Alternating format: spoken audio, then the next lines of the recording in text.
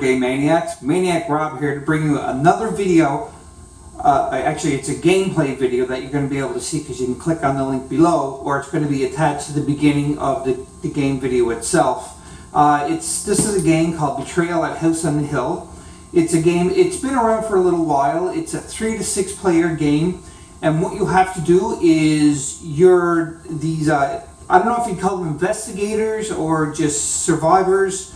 In any case, you're people who have to go into this old broken down house and you're exploring it. And while you explore, what happens is you're going to find these things, you're going to do these different dice roll traits to bring up all of your stats. You have four stats. Uh, two of them are physical and two of them are mental. And you want to bring up these stats as much as you can before the haunt goes off. Once the haunt goes off, somebody in your group of six people or up to six, three to six people, is going to be determined the traitor by what it says in books, what it'll say in the book.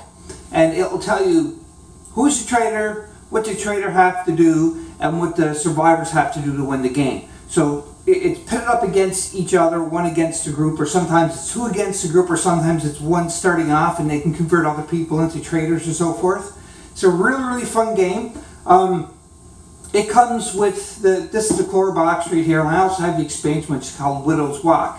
I think there's roughly about 50 haunt scenarios that you can play into the core box. And when you buy the uh, Widow's Walk, which is the expansion, it's an extra 50 plus haunt scenarios that you can get. So you can play this game several, several times. So much replayable, uh, replay, replayability into this because, again, you can play up to 100 plus haunts into this with the both expansions, like the expansion and the core box.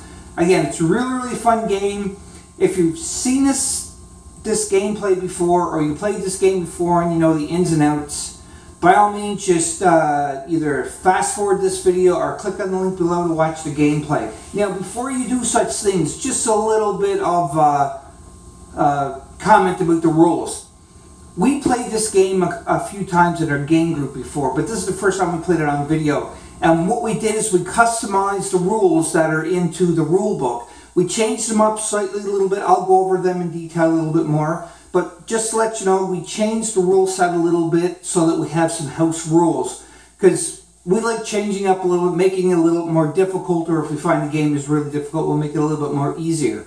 But again, the video that you're going to watch with the gameplay, you're going to notice some things. You're like, hey, that don't make sense. I played this game lots of times before, and they're playing it wrong we know we're playing it wrong in certain circumstances because again it is house rules that we're following. So if you want to if you want to know the list of the house rules and what we use to play it just uh, send me an email at boardgamemaniacs at gmail.com or comment in the uh, in the section below and ask me some questions. I'll get back to you for sure. And i'll give you the list of house rules if you want or if you want to make any other comments by all means just comment below.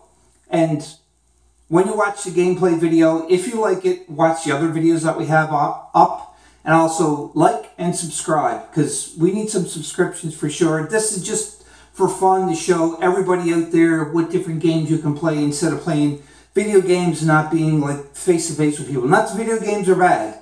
Video games have a different type of realm, but board games is really good because you get to physically play games with other people face to face and talk and, and create conversation and even arguments sometimes, which you'll see in some of the videos. So again, click on the link or skip ahead to the gameplay. I'm not exactly sure what I'm going to have to edit first to see how long the game is. And if it's too long, I may just put this as a little small separate video for the rules and so forth.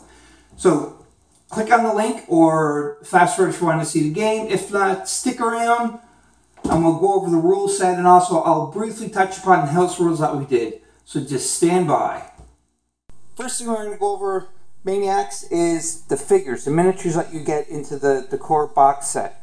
So in the core box set you get six figures, you can see them here, and again, two, a little boy, a little girl, and then a younger female, a little older female, a doctor, and uh, a male. So these are all pre-painted. You don't have, when you open them up, you don't have to glue anything together. They're all pre-painted. They're all set on their bases and so forth. And it makes it pretty convenient because then you just have to take them out and you can start playing right away.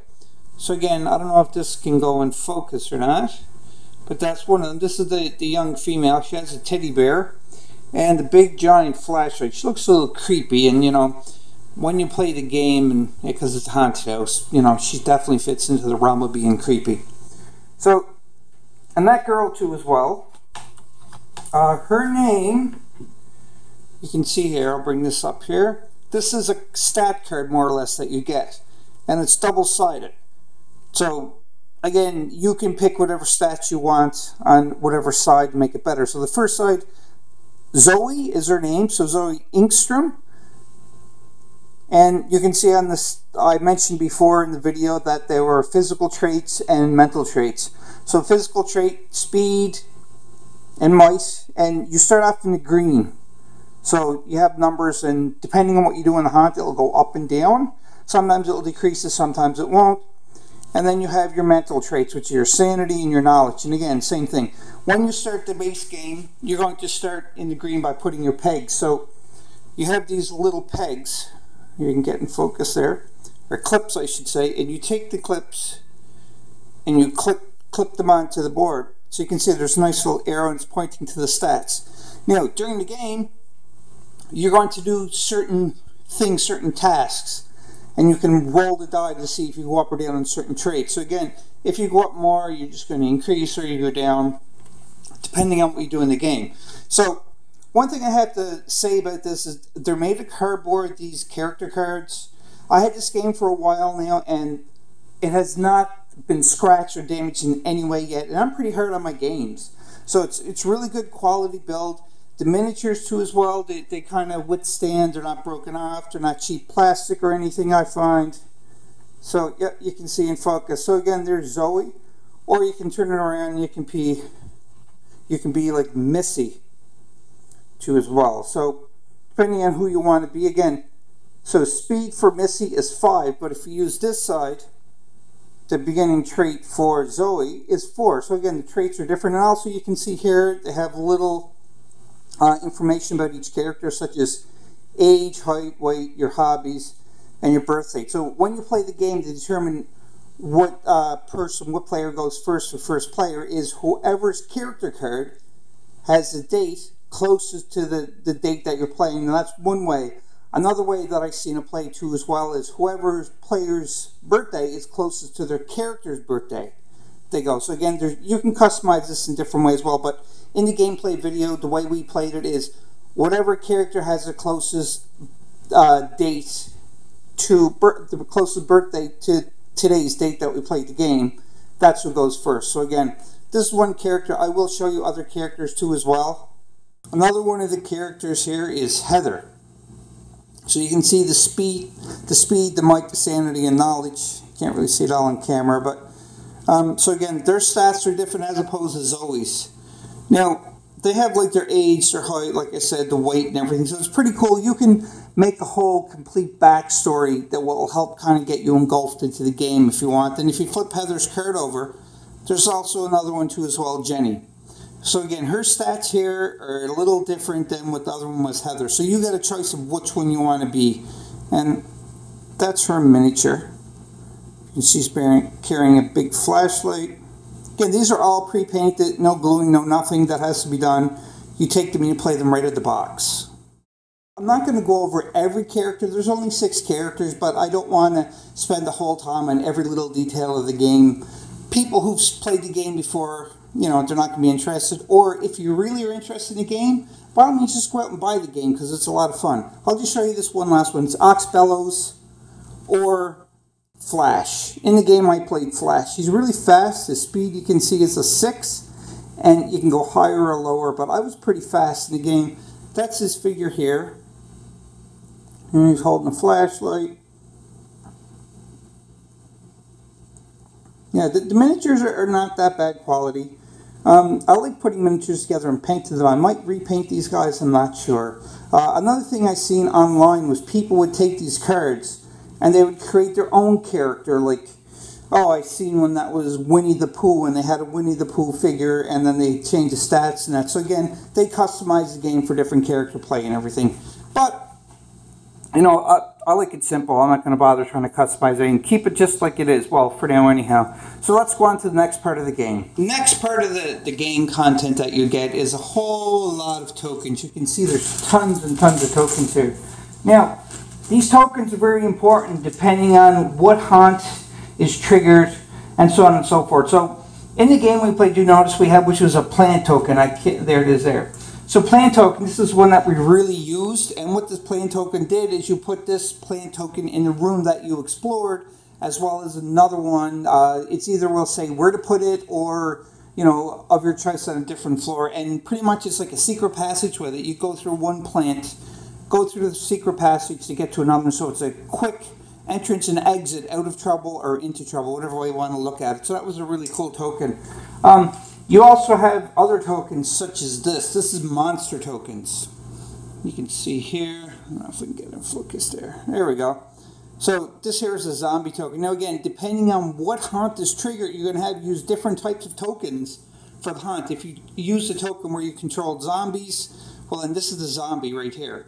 And the way these zombie tokens work, or just the tokens in general for monsters, is these have movement, and the way you do movement is you roll the you roll the die, and it'll tell you how many dice to roll, and whatever you get is the speed of the characters. You move that many spaces. Now, two as well, there's a, a number two on there. That could be the how many dice you roll to get your speed, and you can fight monsters in the game. Monsters can fight you. If you fight a monster, you don't you don't kill the monster, but what you do is you'll stun it. And when a monster is stunned, it will miss a turn. So if you hit this monster and you stun him, the traitor has to flip the card over to the S, which stands for stun. So then you know that monster is stunned. So once that monster is stunned, they miss a turn, and then it goes on. They flip it back over onto their next time. So again, that's one of the tokens as well. Another one which I want to talk about is tiny little disc tokens right here. These are Explorer tokens. So this is new to the second expansion, which is uh, the Widow's Walk expansion. And with this one here, it has the token for what character you are. And uh, in the Widow's Walk expansion, you get different tiles. And the tiles that you, you go into, uh, and it, you know, it'll tell you, or a card, you know, place your Explorer token here. What it is, is you place that token in that tile, and you get certain abilities and you leave that that token on the tile and anybody else who goes into that room they can't get them special abilities either because you already took them you claim them so you lock, you drop your tile there to say like hey this is mine you can't come in you can't take my my abilities and also you can play other roles into the hunt too as well where you can give one to a player and during the hunt and if you want to get to that space where that player is, you can automatically teleport into that space with that other uh, the other player during the hunt. So again, that's another one for the hunt token. And I'm not going to go over all the the uh, the tokens you can get because it take me hours upon hours. Just read the book, and you know you will actually discover these obstacles during different hunts. Let's go over two more of them that seem to come up a lot into the games. And there are your obstacle tokens and your lock tokens. So obstacle tokens, they can be placed somewhere so that it will uh, hinder one of the survivors or the monster, and you have to roll to see if you can get over it or get through it or what have you. Uh, lock tokens can come into uh, some pretty handy things because uh, what it is is uh, you can draw some tiles that will tell you to lock a door or lock all the doors in the room so you're trapped. Then you have to roll dice to see if you can unlock it. If you unlock it, then you successfully unlock it, you can get out. And also, too, as well as if there's an event, it could be like a, a rock fall or debris fall or what have you, so that you have to play with other parts of the game that can stop you and, you know, take more damage to you. So again, these are lock tokens, locked, lock one, and your obstacle tokens, obstacle 21. They're double-sided because that way there's not oodles and oodles and oodles of tokens, even though there is a lot of tokens in the game. But that's another one I just want to point out. So that's it for the tokens. I'm not going to go over any more detail. I showed you I showed you monster tokens. I showed you lock tokens, obstacle tokens, player tokens, and so forth. So let's go on to the next part of the game content. In the box as well is the, the kind of like the meat and potatoes of the whole game. And these are your map tiles. So you can see you have a good stack of them here. And again, this has the uh, the expansion of Widow's Walk combined into it too as well. I don't know exactly how many uh, room tiles you get for the core game for the for the expansion game, but again, I just mix them all together. But pretty much what it is, on the start of the game, oh, hit the camera there. Huh. So in the start of the game, you get what is called the main entrance or entrance hallway with your foyer and grand staircase leading up to the upper floor. This is where all of your characters will start. So you start here in the main entrance and you can see there's doorways that you can exit out when you when you go to a door, you flip a tile to explore. So again, just say flash the speed is five. So you go up one, to, and then you say, okay, I'm going to open this door and explore. So he opens the door, explores, you flip a tile over according to the main floor where you're at, or ground floor, I should say, and you go in and you keep going, so on and so forth. So when you got up to that door, here's a ground tile right here. So again, you grab the ground tile stack, and you flip it over. And this is the graveyard. So again, uh, some of the tile cards or tile map has text into it. It tells you stuff that you have to do and also has icons such as this. I'll go over what the icons mean because it tells you what cards to flip and so forth. So one thing I want to point out about uh, the game that we played where it was, this again, this is part of the house rules that I discussed. Now, in the rule book, it says that when you flip over one of the map tiles and you go into it and you have any card symbol onto it, your turn ends automatically at that map tile and you pull that card and you read it and you do the effect. Now, what the house rules that we did is if we pulled a card and it had one of these, we would read the event card or whatever, do, do what effects had to be done, and we continued on with their movement. Now again, that is a custom rule set that we created for our house rules. But in the book, it does state that when you flip over tile and you enter it and it has an icon, no matter what icon, it could be an item one, it could be an omen one and so on and so forth.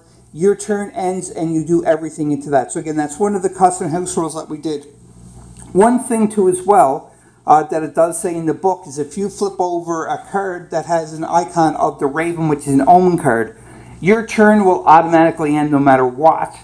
And you are going to resolve the omen card and then make a haunt roll. We still do a haunt roll in the custom uh, house rules and we still stop our turn when we flip over an omen card. But if the haunt did go off, then the player has a choice either stop their turn at the when they flip over uh, one that has an omen card, or they can continue on after they resolve the effects of the card. Again, that is a house rule that we did.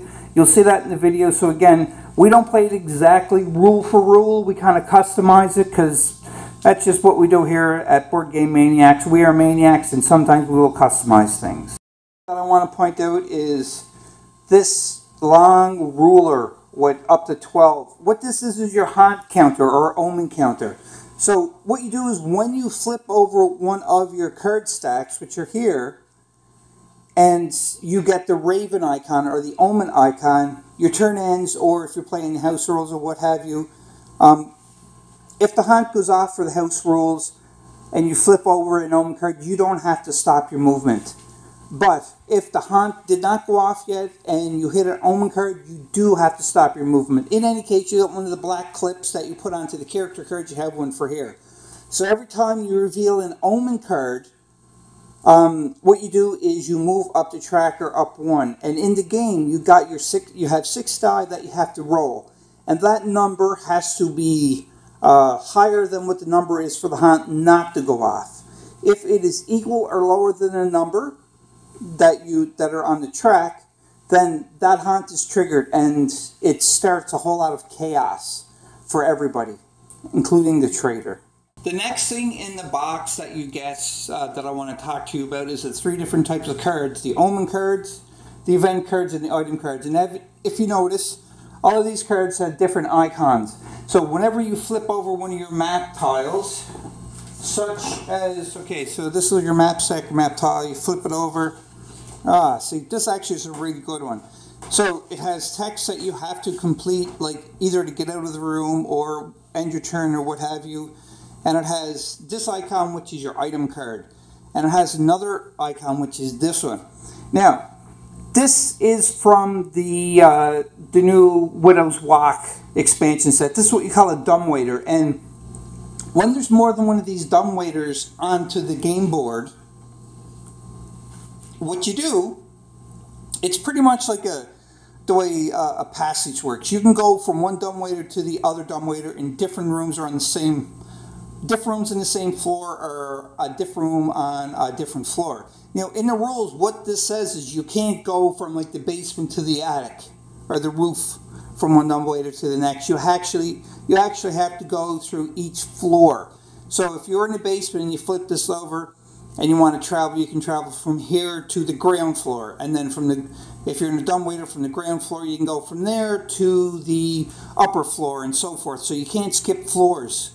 Now there's certain cards that you can get that will allow you to skip floors through dumbwaiters. You can go from one dumbwaiter on the ground floor and go all the way up to the attic if you want. And again, cards will do that and give you special abilities. So that here is an item and that is a dumbwaiter again. This is part of the expansion pack for the Widow's Walk. So, talking about these cards, if you come up in the rule book, when you flip over, like I, I talked about this not even two minutes ago, I just want to stress upon this, is that, you know, you, you pick up a card, you read it, you do whatever you're going to do into it, and your, your turn's supposed to end there when you pick up any one of these three types of cards.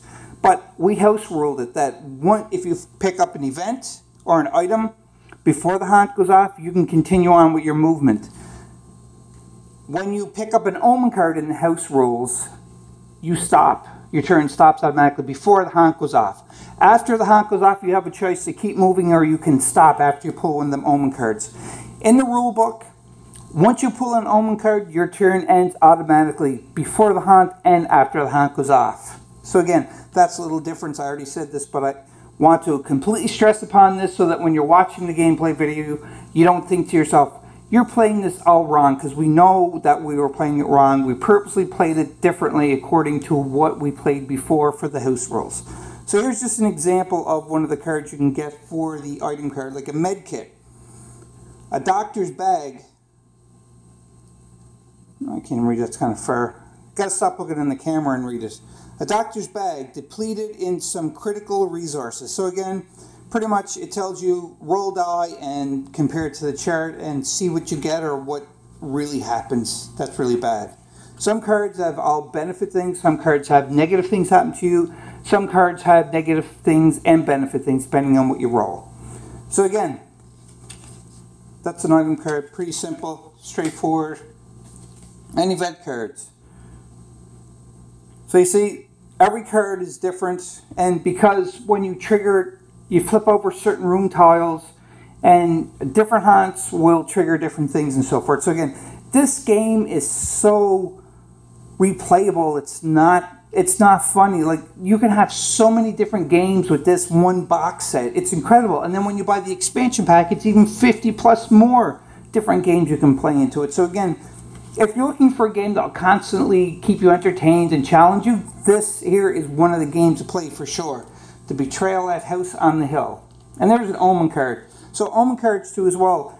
Whatever Omen card you, you pick up and when the haunt is triggered, that Omen card will determine what the haunt is, who the traitor is, and so on and so forth. So again, here's what I hear about the book. You can see the raven icon on there. And at the end of every omen card, it says, make a haunt roll now. If the haunt has already went off and you explored a new room and you picked up an omen card, you don't make a haunt roll because the haunt roll already went off. So there's senseless to make another one. But you still get to keep whatever these great items are, which is a book for this one. A diary or lab notes. Again, this is really good. This here pretty much says, you know, gain two knowledge now. If you lose this book, or if by losing it by a monster, taking it, or another player after the off fights you and steals a card onto you, then you're going to have some negative effects, losing two knowledge and so forth. Really, really fun. Next thing I want to talk to you about is the actual dice that you use in the game. So it looks like ordinary dice, but you can notice all dice have blank sides. they have one, two, one, two, and blank sides. So there's no number threes or higher on these dies. They only go up to two. So blank up to two. Now again, when you are rolling for effects and if you roll some blanks, it counts as zero, so therefore you're safe.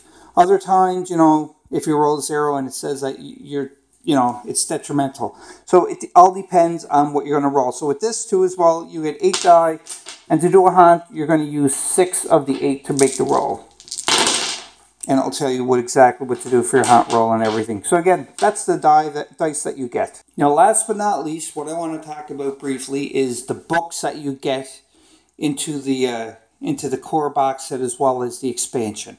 So you have your rule book, which says rule book, and I definitely would suggest to read this cover to cover before you even start to play the game because it will pretty much explain everything that you need to know to play the game, obviously, because it's a rule book. But some things you're not going to be sure about, but it, it pretty much explains it in best that it can. So again, talking about the monsters and when you stun them and so forth.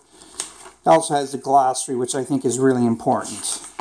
So, on top of that, this here is pretty much like the the basic rulebook for the expansion for Widow's Walk. Tells you about the, the haunt and so forth. So, um, one thing I want to point about this is, you know, you may think like, well, how do you know what haunt happens and so forth? So the haunt is determined by the location you're at when the haunt goes off, the omen card that is picked up. So when you do that, you would just look in the chart. If it's from the newer expansion of the Widow's Walk. If it's in the core set, it's still exactly the same thing, but you would look on the, the rule book one for this or the beginning of the Trader's Tomb to find out which haunt is triggered.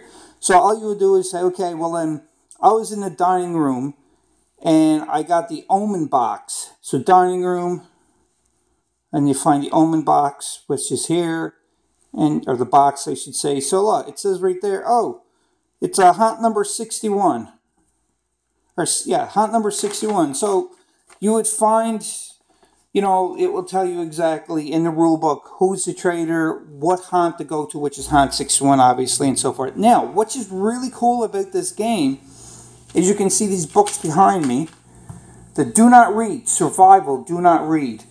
And this is the Traitor's Tome, Do Not Read. And the reason why they say don't read this even when you oh because when you open up a new game box you want to read everything you want to look through everything. Don't look through these that say do not read. And the reason why is you want to wait until you play the game because that way you don't know what the haunts are going to be and it's going to make it more interesting for you. So if you were a trader, trader's tome and you know because of the hunt that's triggered and so forth you become the traitor then you're going to find out what traders you would turn. I'm just going to give you a brief. I don't want to go into detail here because I don't want to give secrets away. No, no, no. See look. This hunt, just let you know, goes up to page 50. Because this is your the core rule set. So you got 50 hunts. So therefore, if you open up this one, the Trader's Tomb from this is the Widow's Walk.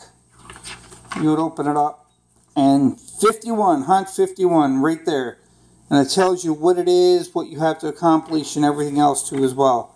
So, I'm not going in detail about what's in these because it's a complete secret and I don't want to ruin the secret because it takes away from the fun of the board game. But, for every trader, tome, you'll have a survival tome book. So, do not read unless you're a survivor you turn to that haunt and so forth. And there's the expansion for it. So again, you got from one haunt to 100 haunts. So again, the playability in this game is phenomenal. I don't know what else to say about this except for for playability for this game, I would give it a 12 out of 10. Uh, for enjoyment, I'd give it probably a solid 8. 7, between 7.5 and 8 for sure. I love this game. I played it a lot. Um, well, not a lot, but the times that I did play it, I always had fun.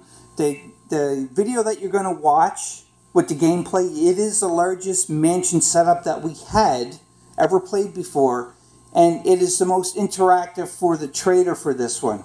Other times we had like monsters and so forth. So this one here is probably the best traitor interaction uh, hunt scenario that we ever played. And it's the first one on camera. I'm glad it happened because it was such a great battle. And one more time, I'm just stressing too as well, is we're, there are different rules that are in the video as opposed to the, what's into the rule books. So it is house rules that we did. If you have any other comments or questions, please, by all means, you can email us as boardgamemaniacs at gmail.com or you can comment into the comment section down below if you want. Again, I'm not sure if this video is going to be linked to the beginning of the gameplay or it's going to be a separate video. So if it's a separate video, there'll be a link down below you can click on it to skip ahead and go just to the gameplay. Or if it is the same video, you can just fast forward, click ahead so that you can go to the gameplay and you can skip all of this if you want. So, Board Game Maniacs, have a lot of fun, talk to people, play games, and most importantly of all, when it comes to board gaming, be a maniac.